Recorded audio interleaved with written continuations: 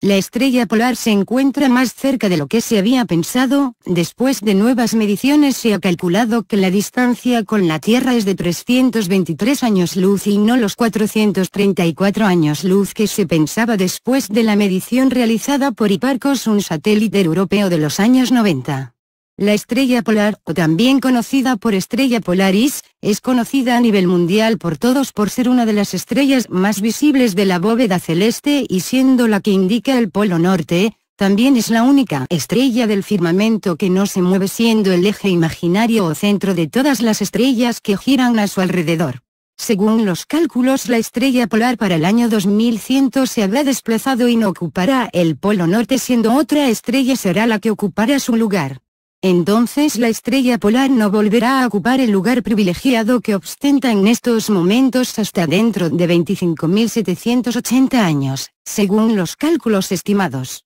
La estrella polar que ha servido a los navegantes durante mucho tiempo para orientarse, hace 4.780 años no era el centro del eje celeste, la posición era ostentada por la estrella Tuban de la constelación Alfa Draconis, o también conocida por constelación del dragón, Además Tuban se encontraba solo a 10 grados del centro celeste, la estrella polar ahora se encuentra a unos 50 grados desplazada del eje aunque de todos modos es la estrella más cercana al eje celeste. En Egipto en las antiguas pirámides existen unos corredores que van a parar a la visualización del eje celeste. Desde este corredor cuando fueron construidas las pirámides se podía visualizar la estrella Tuban, pero si pudiéramos observar el cielo desde alguno de estos corredores de las pirámides, ya que están obstruidos, se podría observar a la estrella polar ocupando el lugar de Tuban, estrella que es señalada en algunos antiguos dibujos egipcios en los que se representa el cielo estrellado.